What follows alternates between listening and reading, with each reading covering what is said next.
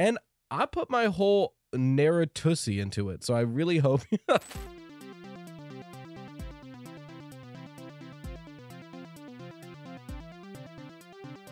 Ladies, gentlemen, and those with the good sense to do away with the whole notion, I welcome you to the premier audio medium for all your Fazbear entertainment needs the Freddy Fazbear Pizza Podcast.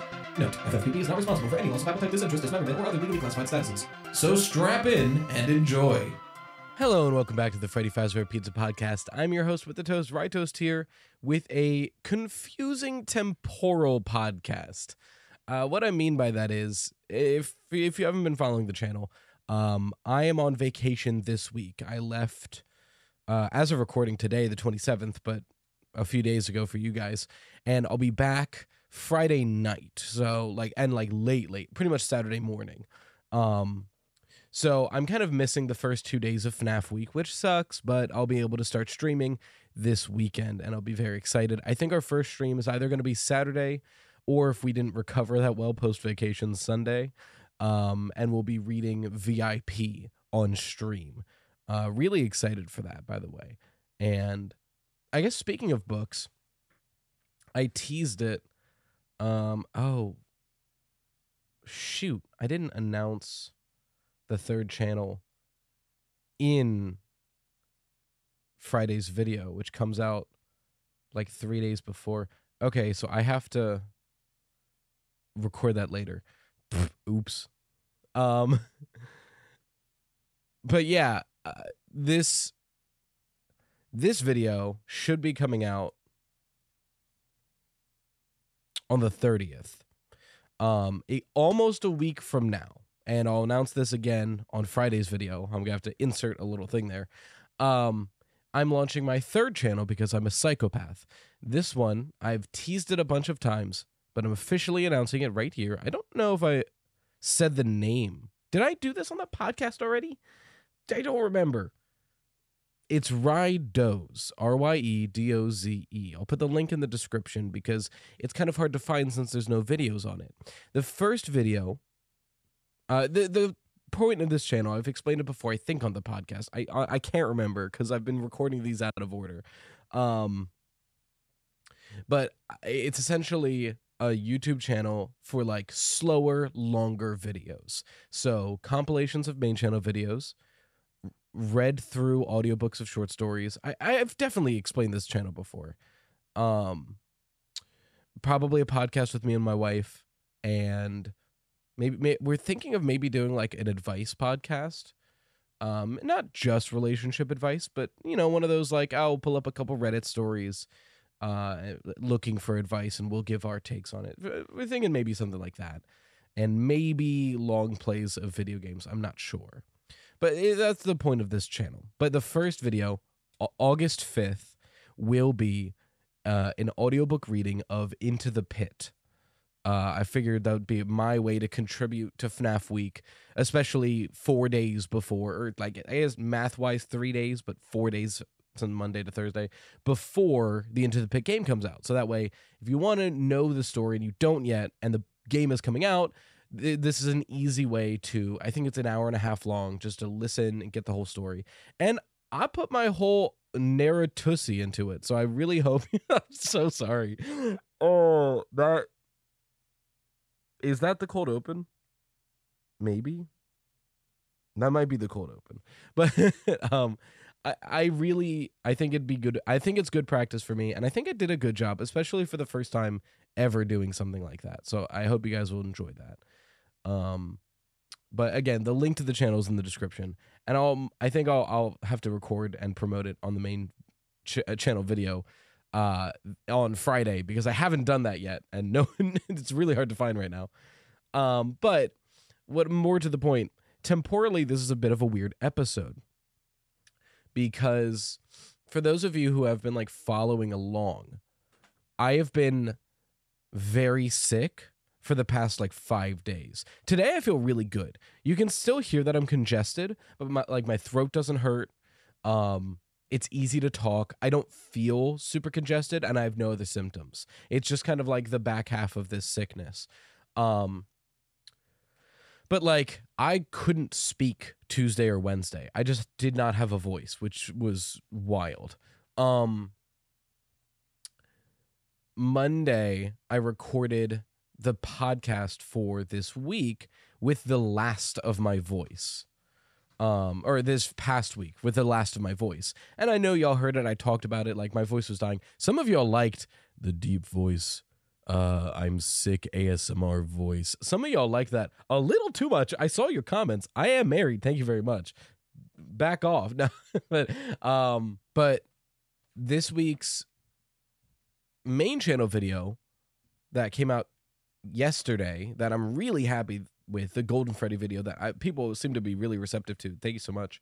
Um, but that video I recorded before I was sick, like the day before I really got sick. So I sound fine in that video. This podcast coming out after, I'm still getting over the sickness. Friday's video next week, I recorded yesterday. I was more sick. So if you don't follow these podcasts or the streams and like know what's going on, essentially the release order is about to lose my voice sick, perfectly fine, just got my voice back sick, or like uh, just got over being sick voice, and just got my voice back sick. They're like so out of order recording wise, but I, I did what I had to. Uh, because not only was I sick this week that I'm recording, but the week this comes out, I'm on vacation. So I couldn't record it like two days from now. I'm not going to be home. Uh, same with the main channel video. So it's just been such a weird two weeks. Um, but I appreciate y'all hanging out for the ride. That's explaining the weird timing of everything. But most importantly, we've got news to talk about. I would have made a main channel video on this topic, but uh, it happened last night, and I cannot make a video that quickly. Um, so it's just going to be delegated to a podcast, which is fine. I like making these uh, and some of y'all like listening to them. We got an announcement for the third interactive novel. Now, some of you might realize this is technically the fourth that's being released, but VIP, the shorter free one coming out a week from the date of recording on the third, um, that is technically number zero in the series. Jesus Christ. I'm leaving that in. For anyone who doesn't know, I record under the kitchen and someone just dropped like two glass spice bottles and it scared the shit out of me. um but yeah, so VIP is number 0 in the series. Number 1 coming out in September is the week before. This is the one set the week before FNAF 1. Um, number two in the series, Return to the Pit, is pretty obviously Into the Pit coming out in December. And we just got an announcement and a description for March I believe it's a March release next year. So this is like like six months away. That More than six months. Away. This is a long time. Like maybe eight months. I, I don't know the quick math on that. It's like what five plus three. So yeah, eight months away.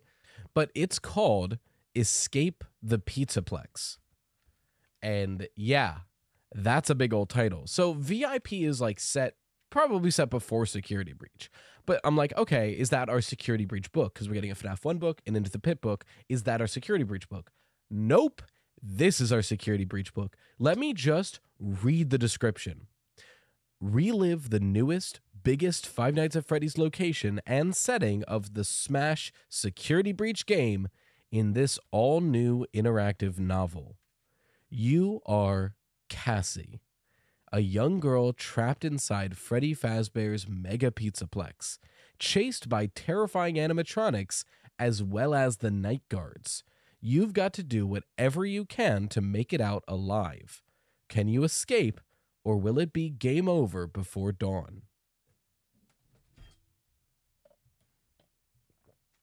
This is interesting for several reasons for like uh, the rest of this topic is just going to be talking about the repercussions of this book. Now, again, not only is this book not out, none of the interactive novels are out. So we have to speculate heavily here. But we have a pretty meaty description to chew on. So let's go over this. First of all, timeline placement. Because, and I'll get into it later. For now, I'm assuming all of these books are within the game continuity. We have no reason to assume otherwise. I mean, they're not even out yet, but all the descriptions are pretty like holding your hand like this is set within this video game, this specific video game. I'm like, okay, damn. Um, if this is within the game's continuity, this book has got to be pre security breach. There's a little bit of ambiguity with VIP, but I think this book pretty handedly has to be pre security breach. May- and yes, sure, the Pizzaplex is operable and in a functioning state, which, like, that means it's probably before security breach, but there are like two or three endings where you can still be at the Pizzaplex after security breach. But the main point here is it says, as well as the night guards, plural. There's more than one night guard at this Pizzaplex. Because they are separated from animatronics, I feel like that means these are human night guards. Now, they might be staff bots, but if they are human night guards and there's multiple, then this has to be pre security breach. Because as of security breach, there's one human working at the Pizzaplex, that being Vanessa. She's already done the all staff meeting. All of the other human employees have either been fired or possibly killed. So, since as of security breach, there's one night guard, the fact that this description specifies plural night guards means this has to be pre security breach as long as those night guards are not staff bots. And that also brings some interesting questions. So, we know we're most likely definitely before security breach. This might be giving us more of a backstory on Cassie, because we do know a surprising amount of Cassie for a FNAF protagonist. Usually these are like empty slates of lore, but we actually have a good bit of information on Cassie. For one, we know she loves the FNAF animatronics, at least the Pizzaplex ones. She cares deeply about them and wants to help them. We also know that she had a terrible birthday party that nobody showed up at except for Gregory. So we and we know that she loved being at the daycare and like her father probably worked at the Pizzaplex since he had a Faz wrench just like the one she uses. So like we know a good amount about Cassie, but then immediately things seem strange here. If Cassie loves these animatronics, why would she still love them as of ruin if in this book she'd been hunted down by animatronics? Surely, as a kid, if I'm being chased and hunted and attacked by animatronics, I'm not going to turn around and love them and like want to be around them. What's the issue here? Immediately, some people said, like, okay, this is evidence these books are not in continuity. Because if Cassie was hunted by these animatronics, why would she like them? Like like I said, even the daycare, even when the Security Breach Pizzaplex was functioning properly and ki- and like people were going there every day, kids were reported having horrible nightmares and permanently bedwetting when they went to the daycare because of what Moon was doing, presumably being creepy and maybe kidnapping some children. So, why is it that this was going on and Cassie still loved this place in spite of it all? And also, she was hunted. I don't think it's an inconsistency on the face of it. I don't think this is evidence that these books are outside of the game's continuity. And let me explain why. Like I said, none of the books are released yet. We don't know the contents of these books. But going off of their descriptions and going off the type of book it is, I think it is safe to assume they are in continuity. After all, like I mentioned, each book is directly tied to a specific game to the point where most of their descriptions say this is set within this game. That's very cut and dry. That is hard to argue against. Not only that, all of these books have multiple endings and multiple plots within them. And the full versions of these books have 25 plus endings. So, like, this is the perfect book for Scott to unabashedly be like, this is a in continuity, fully within the timeline book because only one of these endings is canon. So like that that makes so much sense for FNAF as a franchise to be like, "Oh yeah, one of these 25 endings happened. Good luck figuring it out." Like that makes total sense. So what about this book? Because if all of them so far within continuity, I think it's safe to assume the whole series will be. But then this book presents that weird that weird difference with Cassie. Like, why does she care about these animatronics if they've hunted her down? on the surface, going into this, I don't see an issue. The only time we see Cassie willingly enter a Pizzaplex, our Pizzaplex, in game is in ruin. And think about the context of ruin. This Pizzaplex has been closed for a long time, is dilapidated and mostly destroyed, and nobody works there anymore. And she's only going inside of it to help Gregory. This does not conflict with the book. If the book says Cassie has been hunted down by animatronics and workers at the place, and then the next time we see her going in is ruin, there is no contradiction. Right? I don't I see a child being like this place is terrifying, this place scared me, this place almost killed me. My best friend said he needed help. He's at the old dilapidated Pizzaplex that is not in operation. Nobody's working there, and the animatronics are probably shut off. I think I can go in and I can help him. There's no contradiction there. The contradiction does come in, however, when going through Cassie's backstory. We know that she loved going to the Pizzaplex, and we know that she currently loves these animatronics, even if she's worried about them hurting her. So, what is going on here? The way I look at this, and again, none of the books are out. We are fully speculating here. But if I had to like make a guess as to how this makes sense within a timeline, Escape the Pizzaplex is probably the last time Cassie went into the security breach Pizzaplex until ruin. That was what began this gap. If I'm like on the surface looking at this book, I see Cassie loving the Pizzaplex and the animatronics within it. She would go to the daycare, hang out with Moon and Sun. She would hang out with Roxy. She loves Roxy. She had her birthday party there. And then you know, maybe her birthday party is the catalyst of this. If we're going pre security breach, right? Gregory is likely still under the control of Glitchtrap. And if that's true, Gregory helping Cassie and making her birthday even better may have all been a setup. All right, I'm going full conspiracy. I was going to stick, uh, I'm going full conspiracy. Hear me out. Plot of Escape the Pizza Plex. It begins on Cassie's birthday. It goes horribly wrong. None of her friends show up. This is on purpose. GGY or Gregory slash Dr. Rabbit, we know this little devil will kill.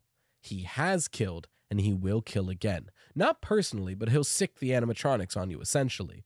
So if Glitchtrap needs children for some reason, I'm assuming Remnant, but like, here's the thing. We don't really know how they're planning to bring William Afton back, but we know that there's at least 12 missing people as of Security Breach. So people are being killed and hidden, probably for a purpose. If we are trying to get Remnant, and Gregory sees that one of his classmates, who's already kind of shy or whatever, is having a birthday party, this is a perfect opportunity. If Cassie's trying to have her birthday party at the Pizzaplex, all Gregory needs to do is change the date for the outgoing invites. Change the date, make it so all of her friends miss it. And now Cassie shows up to her birthday party, ready to go, ready to have fun, and nobody else arrives. Now, Gregory, again, this isn't Gregory, this is Glitchtrap puppeting Gregory. Now, Glitchtrap as Gregory, has the perfect opportunity to manipulate Cassie to be a victim. Cassie is all alone on her birthday party. This is the worst day of her life. And suddenly, a boy she doesn't even know walks up and offers her a napkin. Now, Cassie and Gregory are friends, and Glitchtrap can use that to get Cassie down into the basement and eventually, hopefully, probably, I guess, die and extract her remnant. I'm not again, we're not sure why all these people keep going missing, but they're clearly being used for something. So I think Escape the Pizzaplex starts with Cassie's birthday party going well now because she's hanging out with Gregory and the other animatronics. And then Glitchtrap as Gregory convinces her to go even further down. Hey, there's a secret cool place I think you want to see. She goes there. Now the book starts having consequences. Now it's past midnight, Gregory's gone, and it's just hostile animatronics and human guards looking for her, and she has to make it out alive. Now I hear you. If this all happens and Cassie's been hunted down by these animatronics and these guards and even betrayed by Gregory, why is she so willing to love, accept, and heal the animatronics? And why she's still such good friends with Gregory that she'd risk her life going back down to the Pizzaplex to save him? My guess, more manipulation. We see in GGY, Glitchtrap as Gregory is a master of manipulation. Very, like, to the point where he messes up the project and now his his friend he was working on it with hates him for it, so mad at him about it. And even still, with the way Glitchtrap is able to manipulate people, is like, hey, I'm sorry. Let me make it up to you. I've got these passes for the Pizzaplex. Let's go, let's go play. And that works, and the kid presumably dies. So, but so the question now is if this all happens, why is Cassie still friends with Gregory? Why does she still like the animatronics? I think there is a turning point. I think once Cassie successfully escapes the pizza Pizzaplex, Glitchtrap gives up on her.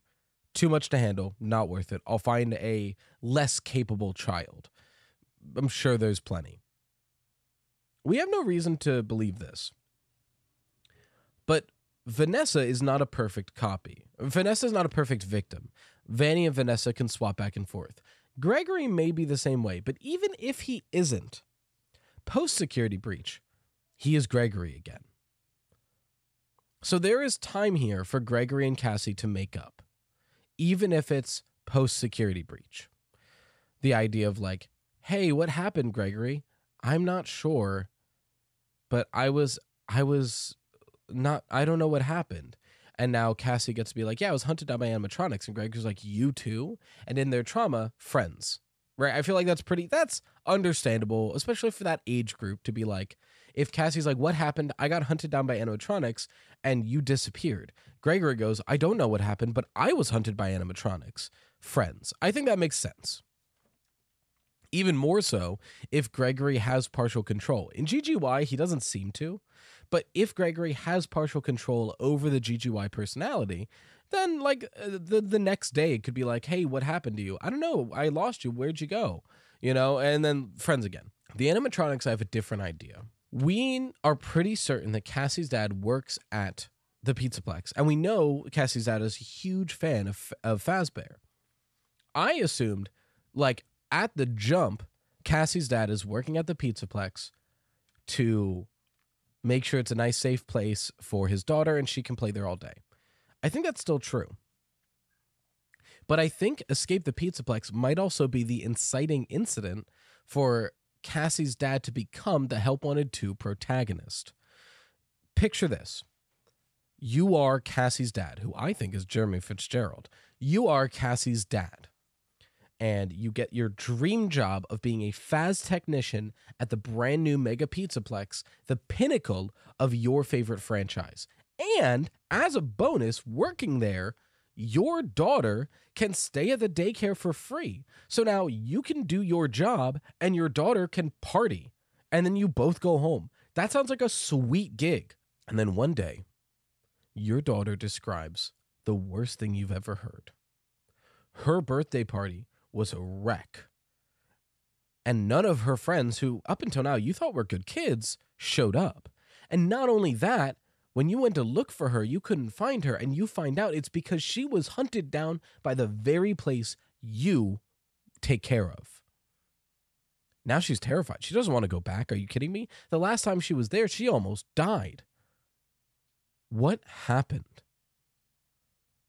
Now, Cassie stays home, and you, as her father, you work here. You can find out what happened, and maybe you can fix it to make it the place she knew and loved. She still loves these characters, just like the crying child, who, terrified of the animatronics, loved the characters. If you can find out what went wrong here, maybe you can fix that issue too. So you go back to work, you look into the system. What what happened with the birthday party? Wait, all these dates have been changed, someone's tampering here. You look into the animatronics, you examine their code, there's G's and Y's everywhere.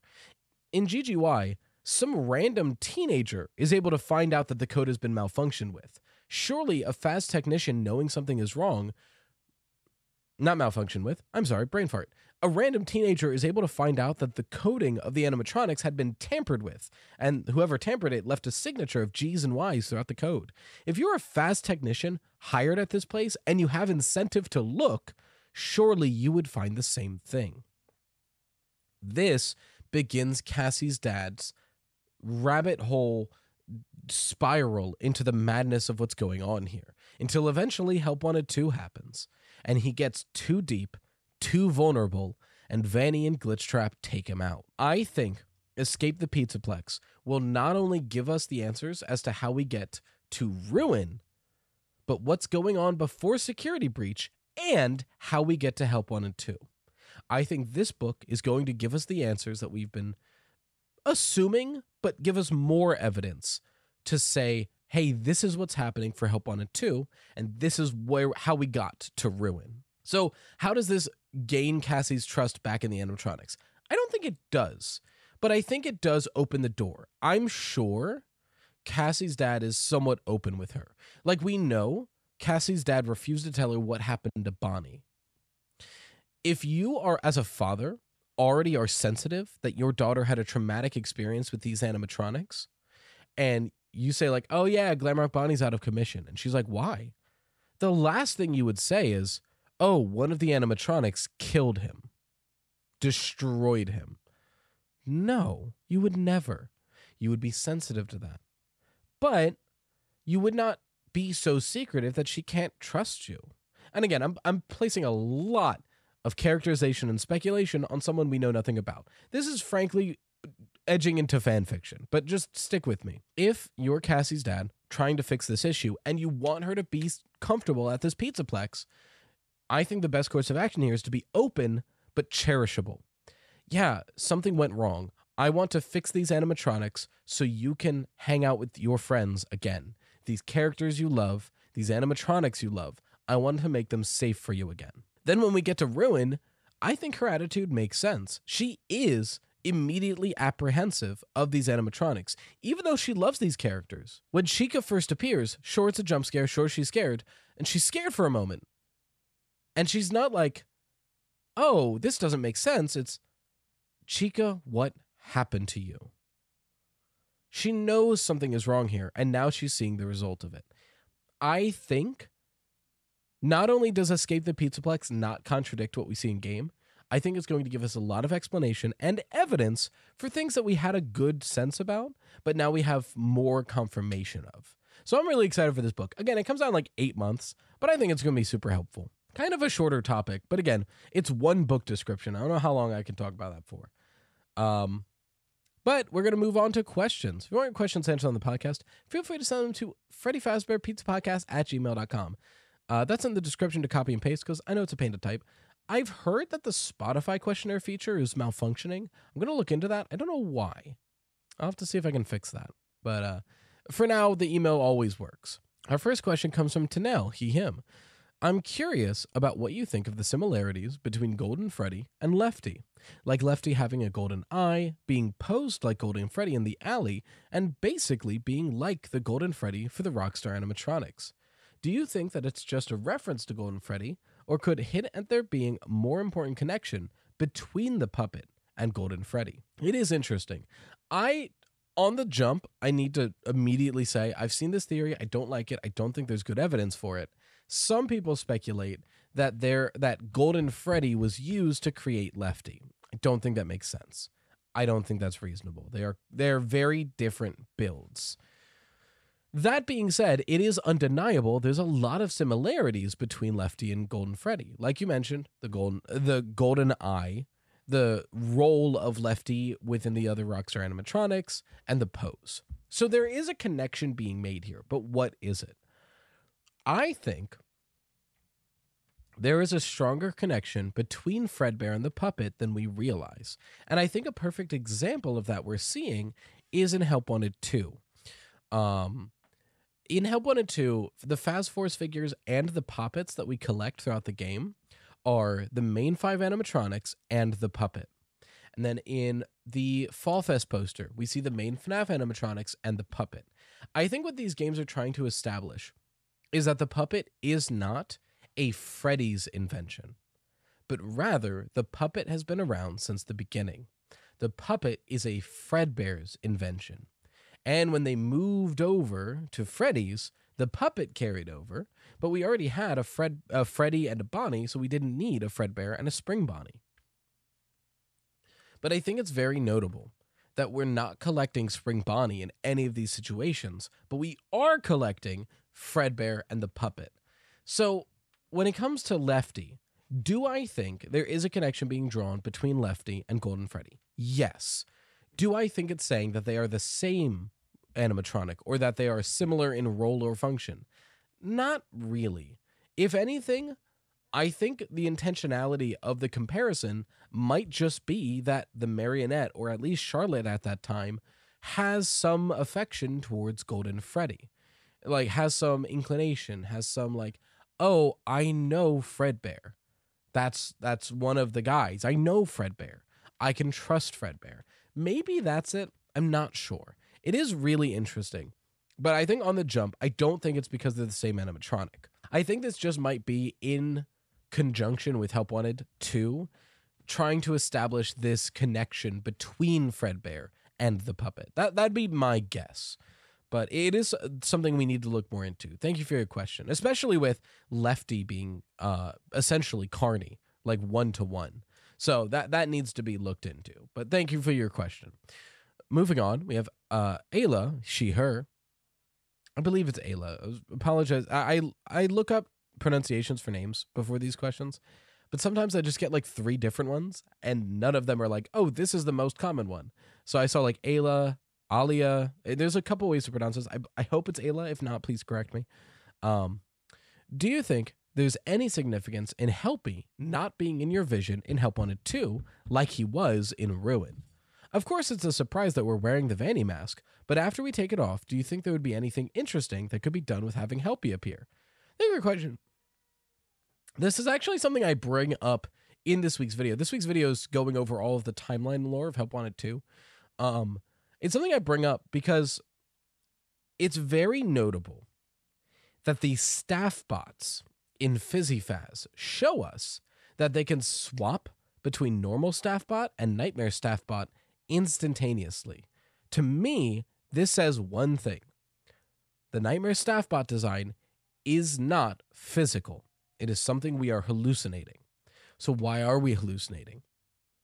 I think there is reason to believe that not just Cassie, but Gregory and the Help Wanted 2 protagonist have the chip in their occipital nerve.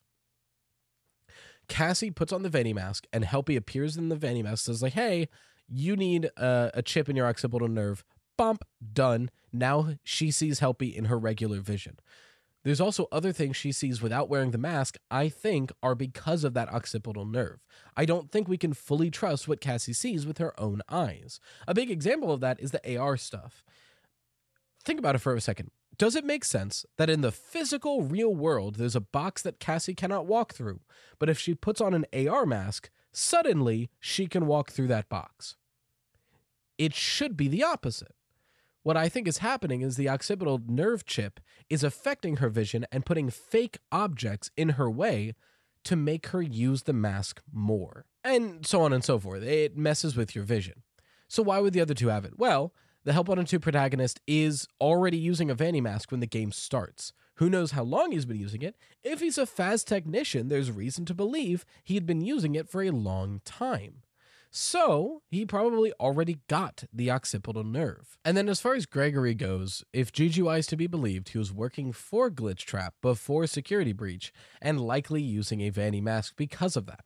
So, he would have also likely got that occipital nerve chip. Not to mention, if he sees the Nightmare Staff bots and they're likely a hallucination, that's more evidence for that, right? Like he's seeing the Nightmare Staff bots because he has the occipital nerve chip. Um, so all this to say, I think the significance that Helpy does not appear in our vision in Help Wanted 2 is less that there's no opportunity for it to happen, and more that we do see Helpy when wearing the Vanny mask. We see him in the projector. I think it makes I, I think the Helpy we're seeing in the projector of Help Wanted 2 is the same Helpy we're seeing in Ruin. That is to say, a manifestation of Glitch Trap or the Mimic One program. So that's I, I think we are seeing Helpy, but it's in the projector. Um, but thank you for your question. The next one comes from Briley, which I like your name because it's one letter off from mine. Uh, but she, they, thank you for your question. Do you think there's any reason why Michael doesn't have an entry in the character encyclopedia? I feel like, on one hand, it's strange that the guy who's arguably the main character in almost every game isn't really discussed. But on the other hand, I suppose an entry would confirm too many things for the lore slash timeline, and we know how Scott feels about that. Then again, maybe his omission is evidence all the same. Thank you for your question. It's definitely a, um, it's one of those things that the moment we saw that, everyone was like, why the hell isn't Michael in here? I think there's a few reasons. One, like you mentioned, it would reveal too much. That being said, it, I think it would be more than more than possible to make an entry for Michael and obscure anything that would give too much away. Like in the stat block, mark it classified or something. In the paragraphs, mess with the text and cover some of it. You know what I mean? Like there's ways to present it without giving too much. If I had to guess why Michael isn't in here, one, maybe that would be too much thematically for the rest of the book and it's just not worth it. Two, I wonder if it just comes down to Scott isn't ready to give us a canon design for Michael Afton. Because the only visuals we fully have of Michael Afton is the Rick Astley silhouette, the sprites we see in Sister Location, and I think that's it. I mean, there is the representation, I guess, in FNAF 6, if you believe that's what that's supposed to be showing us, but that, that's pretty much it. So if we had an entry here and they didn't want to give too much away, it would have no picture and barely any text. So at that point, why include it? I, I think that's my that's what my gut says. Because a canon design would be a huge deal. Bigger they would be the most important thing from that entire book. Genuinely. A canon design for Michael Afton would be the biggest thing to come out of that book. And frankly, I'm glad that Michael Afton's canon design wasn't shown for the first time in that book because it would have been done by Lady Fizzy. Um, so fuck that. Anyway, um, that's my that's my, what my gut says. But uh, thank you for your question. And our final question comes from FNAF World Lover, which makes a lot more sense when you hear the question. He, him, thank you for your question. What characters would you like to see in FLAF, Five Laps at Freddy's, that wouldn't be the obvious choices? For example, my character choice is the Paper Pals. Favorite question. Um, once again, I'm so excited for Five Laps at Freddy's. It is the thing in FNAF Week I'm legitimately the most excited for. More than Into the Pit, more than a free book, more than the Scott interview, Five Laps at Freddy's demo. I'm so excited for it. Off the beaten path characters is a great question because, like, immediately when you think of like what characters are going to be in there, main roster, lock in probably different eras of the main roster lock in. Springtrap, lock in. You know, like the main characters are locked. What non expected characters would I want to see in there? We're getting Foxy for sure. If we don't have a Captain Foxy outfit, I will be upset. Because he if Captain Foxy's in there, it's my main. I'm going with Captain Foxy every time. If he's in there. Yarg Foxy would be even better, but that's a no way we're getting Yarg Foxy. When I think of off the beaten path characters, my first thoughts go to FNAF World and the books, right? I think it'd be really cool to get some book characters to get more canon designs of them. So, like, I think the Stitch Wraith and Eleanor would be awesome characters for Five Laps at Freddy's, and it would give us some canon visualization of these characters, like 3D visualization, even if it's in like a chibi or style.